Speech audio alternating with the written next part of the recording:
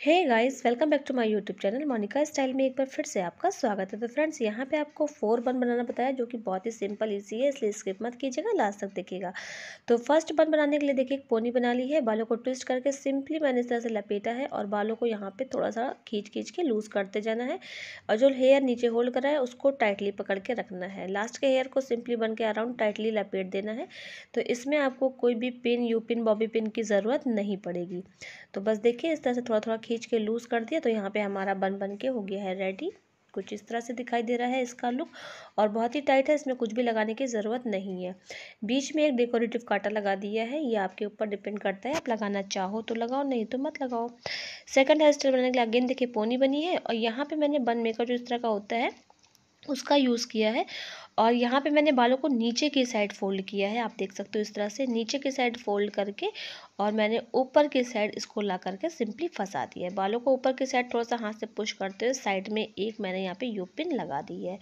सिर्फ़ एक ही you pin लगाने से हमारा बन यहाँ पे हो गया है एकदम रेडी और थोड़ा सा डेकोरेट मैंने कर दिया कुछ इस तरह के फ्लावर्स लगा के। थर्ड बन बनाने के लिए मैंने उसी बन मेकर का यूज़ किया है।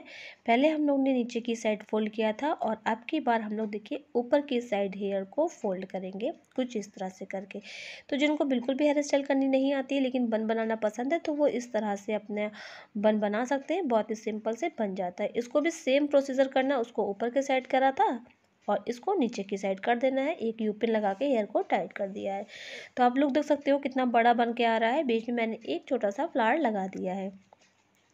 तो है ना simple and quick hair style और ये फोर्थ एंड लास्ट हेयर बनाने के लिए पोनी है। पोनी के बाद थोड़ा सा हेयर नीचे की साइड से लिया है और ऊपर बैंड में मैंने इसको लपेट दिया है।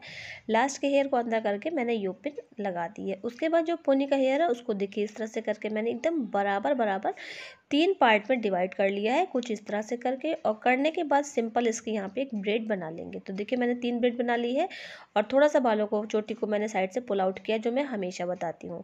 लास्ट में देखिए क्लचर लिया है तो इसको ऊपर से ना करके नीचे की साइड से लगाएँगे, फिर अंदर की साइड जब मूव करेंगे ना तो ये अंदर की साइड जाके एकदम सीधा हो जाएगा। अब इसको नीचे की साइड टाइट कर देना है तो बस और थोड़ा सा ब्रेड को यहाँ पर फैला देना है। इसमें भी कोई यूपिन बॉबी पिन की आपको ज़रूरत नहीं है। अगर आपको लगता है तो आप साइड से लगा सकते हो यूपिन या बॉबी पिन जो भी अगर आपका बन अच्छे से मैनेज नहीं हो रहा तो और इसको डेकोरेट आप अपने अकॉर्डिंग कर सकते हो। मैंने साइड से इसमें केवल एक डेकोरेटिव पिन लगा दी। तो आई होप की वीडियो पसंद आ जाएगा अगर आया तो चैनल को सब्सक्राइब कीजिएगा लाइक शेयर कमेंट करना बिल्कुल भी मत भूलिएगा। मिलेंगे नेक्स्ट वीडियो में नेक्स्ट हेयर स्टाइल के साथ। तब तक के लिए bye and thanks for watching